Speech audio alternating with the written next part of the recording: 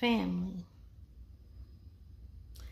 I'm in my clean workspace in my new chair that my husband got for me and the chair is maybe a little too comfortable.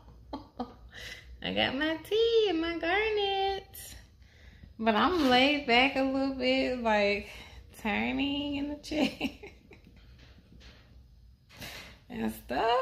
But at least I'm in a good mood to get started. So I want to kind of tell you guys the idea.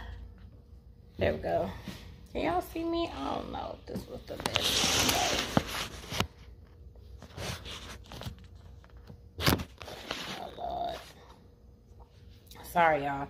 I didn't make sure I was fully, excuse me, set up because I was just excited. We're working on our garnets today. I'm super excited about it. So, um, I just want to tell you guys the idea behind it and then I'll show you uh, the process as I work through it myself because this is a custom. It is something I haven't made before. Um, so it's exciting. So this garnet is going to be set in a prong setting. And I don't know if you guys can really see this on the back, but it has um there's like a straight across area where there's like a dip in it.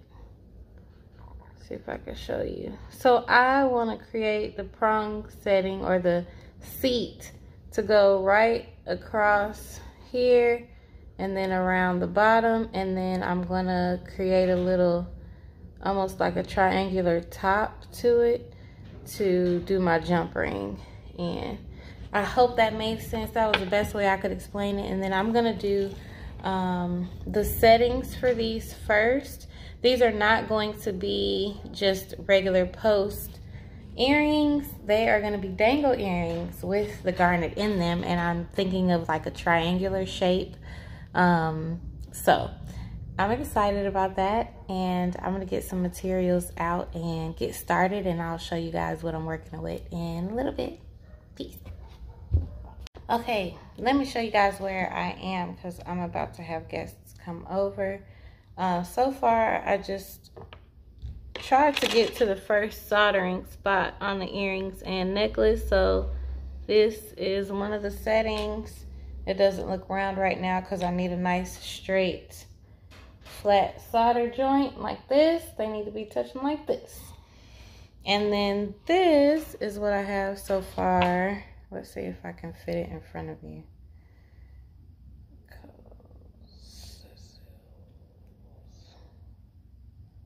Okay. So it's like this. It's gonna sit in there and then I'm gonna attach another piece up there. So I'll show you guys when I get this cut and filed and fitted and all that. I'll come back. Peace. Peace. So I was slightly struggling with this, but I got it. I got it. You see that silver?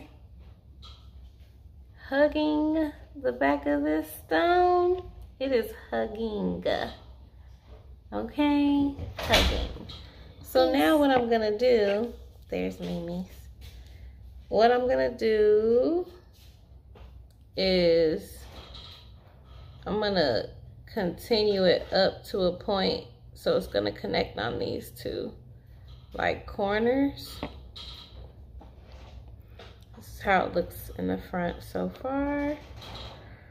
So I'm gonna do that part and then we'll do some prongs. And we're getting there.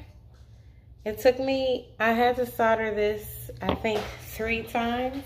I made it and then it was too big and then I made it and it was like slightly too big. Like could I, uh, and now it's hugging, baby. So I'm excited. And then I have these soldered. So I'm just gonna hammer them to the correct, um, you know, circular shape. Excuse the noise in the background. the wind is blowing super hard outside. So I'm gonna use my mandrel. I think they're too big for this mandrel. I have two of these um, bezel mandrels. But let me do that off camera. I'll show you guys when I make a little bit more progress. Peace.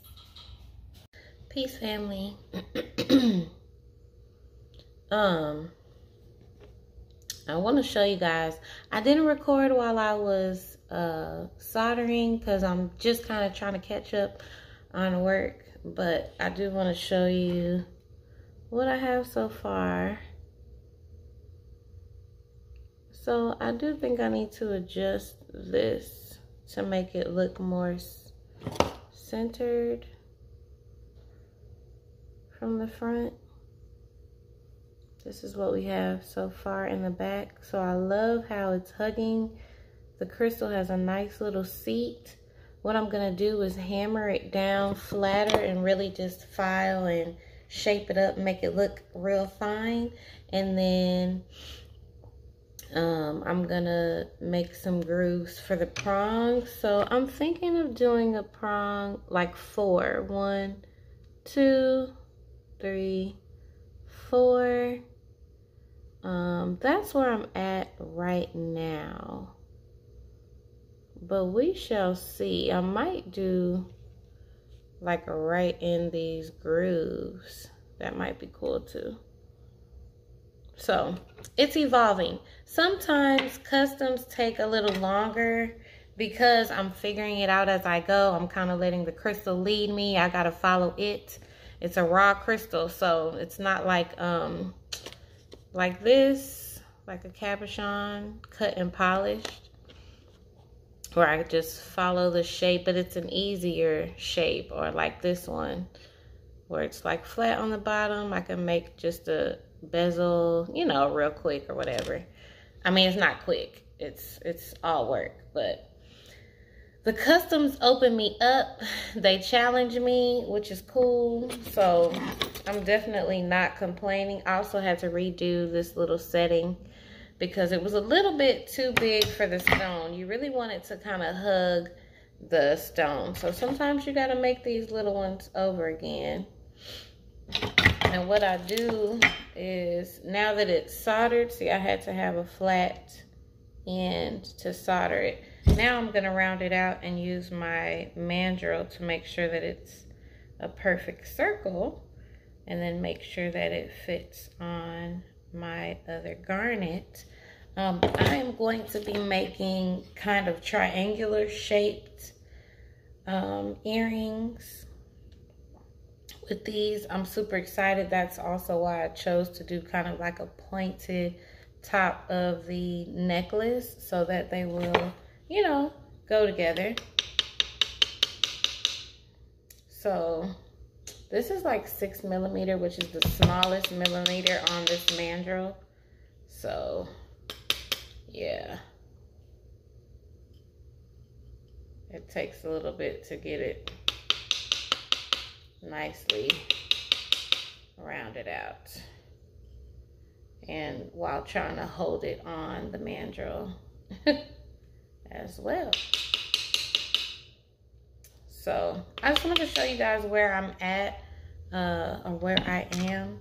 I think now I will do my triangle shapes for the earrings and I'm gonna hammer this down, make it just a little more flat, file the inside, make sure it's really hugging, hugging on that stone and um, and then I'll start working on where the prongs are gonna be and I'll come back and give you guys some progress. Peace. Okay, y'all, I'm feeling it. so let me just show you guys. It looks a lot cleaner now. It's gonna get dirty again because we have to solder the prongs. I hope y'all can see that. And the stone is sitting in it. I hope y'all can see that. So that is going to help me make sure that once I add the prongs and close them in, this stone is not going anywhere. Necklaces need to be really sturdy. And sometimes with prongs, you know, you want it to look delicate and stuff, but I want the prongs to hold it down. So having a seat for the stone is really, really good. But I'm loving how it's looking. I like how it's hugging the stone. I like the shape of the overall necklace. It's not perfectly symmetric, I mean, but it's as close as I can get. And so that's what a raw stone will do for you. It's going to push you outside of your um, box. I'm going to stare at it for a little bit and just see where I want the prongs to go. Um, I have a few ideas. I'm thinking they can come. It's hard to show you guys because it doesn't focus from like here and same place on the other side. Um, or I can bring it down a little bit and have it come from here. But I feel like here will give it more of a good anchor and hold. So anyway, I'm gonna stare at it for a little bit um, while I am lowering my two little settings. And then I'm going to start on the outside like triangular shape of these earrings. And hopefully it's all to come together beautifully. I'm super excited to get finished and get pictures and videos and send them to my client who I love. So thank you guys for watching. I'll be back in a bit. Peace. I just wanted to show you guys the difference once I lower the settings. See, this one hasn't been lowered. This one is lowered now. You can see the top of the stone is coming out a little more. It's going to be a really nice um, hug on the stone and highlight of the stone. You can get different sizes of bezel wire, but this is the smallest size. There's also like a taller one for taller stones. And there's all kind of, you know, fancy ones as well. So I just wanted to show you guys kind of a close-up of the difference when I say I'm lowering my bezels. This is what I'm doing. And um, I'm just using sandpaper. It does seem like, dang, that's a lot of silver that's gone. See my sandpaper. But I just put it in a baggie. I'm pretty sure there's a way to use silver powder. I just haven't learned it yet. but I just keep all my resources. Um, this year, things I want to do is melting and creating my own sheet and wire. Um, and my new torch is going to help me with that. This week, I'm actually going to the jewelry shop so he can just kind of show me how to use the new torch, one thing that you want to do is make sure that you're being safe and learning all the safety precautions, how to check for leaks and stuff like that because I haven't used that type of um, torch before. So for now, I'm still using my Home Depot torch, but soon you guys will see the new torch and maybe I'll record a little bit of my visit over there. So thank you guys so much for watching and uh, I'll be back in a minute. Peace. Peace. I just wanted to show you guys um, the earrings. They're not earrings yet. but I made one triangle. And with earrings, you be working, man, because what you're trying to do is create this same exact thing twice. So, uh, it's a challenge for sure. So I'm using the same wire that I used for the setting on the um, the bigger garnet on the necklace. This is 16 gauge round sterling silver wire. And so I just want to show you before I cut this one that I just fold it, I shape it. And these are, they're pretty close. They'll, they'll be closer as time goes on. But as long as I have the base pretty close, um, I'm happy with it sorry. I don't know if there's any good way to show you that they're pretty close in size and corners are meeting. And I'll get them as precise as I can um, once I get them soldered and stuff. So I'm going to cut this one just like this one and then if you look at the ends, I have to file these ends nice and flat so that they will be touching and look like one piece for soldering. So I'll come back um, in a bit. Peace. Okay, guys, I'm about to take a little break, so I just want to show you where I am.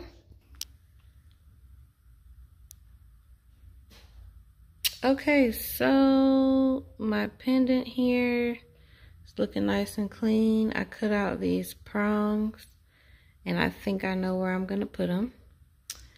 Also made its little loop. Hold on, it's hard for me to do it in front of the camera. Well, not in front of the camera, but looking at the camera.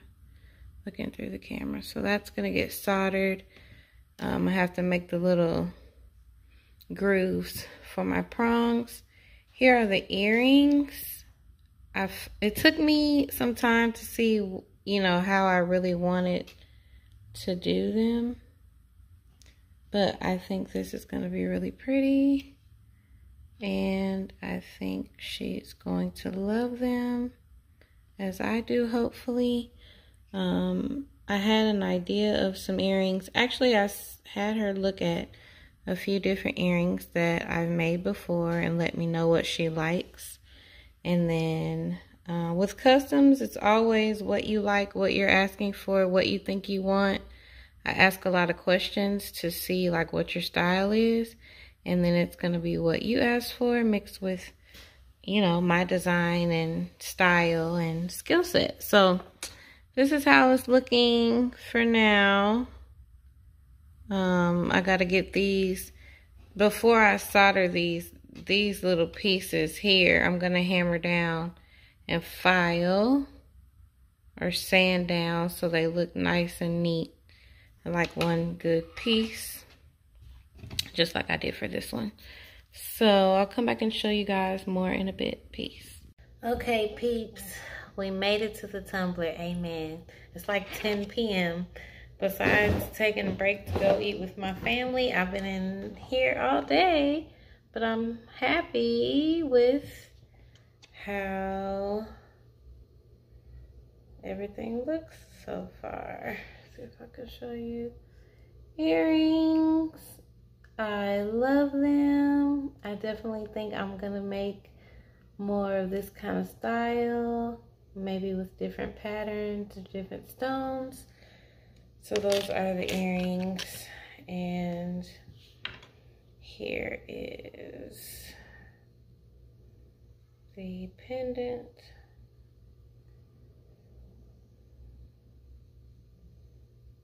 See if I can get it right where I want it.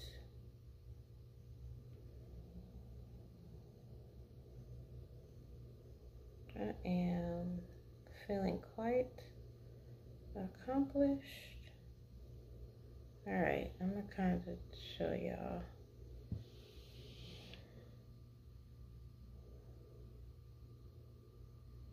So that's it for now. Not set, of course. I'm going to let these tumble overnight and tomorrow we'll set the stones. And it's supposed to be rainy tomorrow, so I probably won't get any good pictures or videos until the day after. But thank you guys so much for watching me um, make these garnet pieces. And I'll show you guys what they look like at the end. Peace.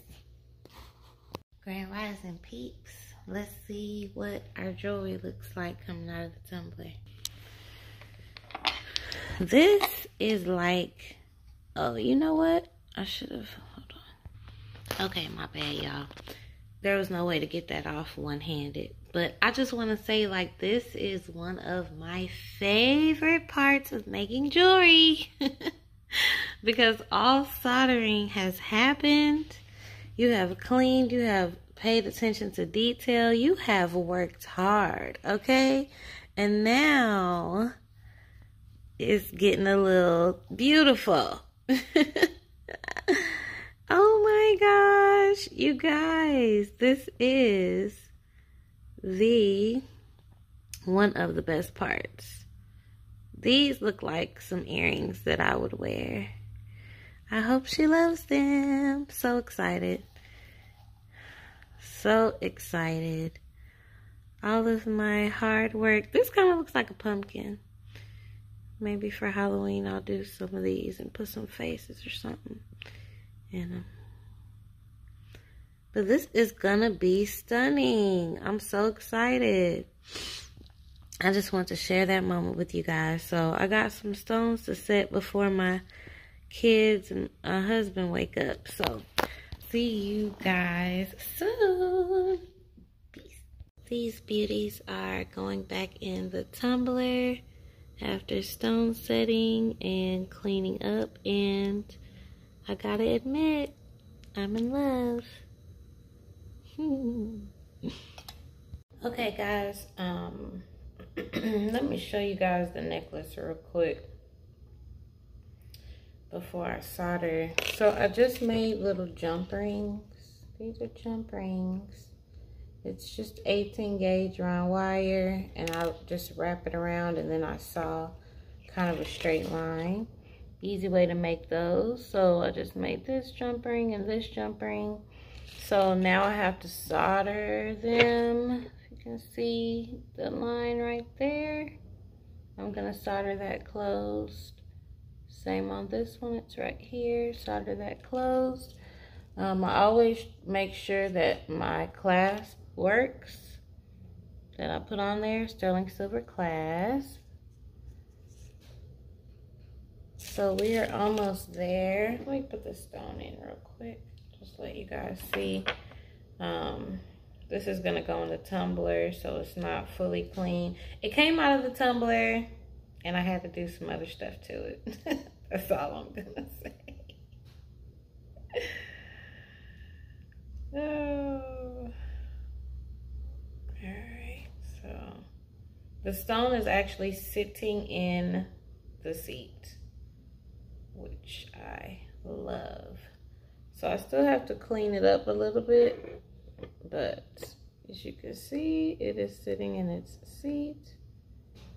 Prongs are as low as I want them. The two prongs at the top are shorter than the bottom prongs, but overall, I'm feeling quite happy with it. So I'm just gonna clean it up with the flex shaft um, solder those jump rings, put it back in the tumbler. And today is a rainy day, so I have to wait till tomorrow to show you guys like videos and pictures and stuff. But I'm in love.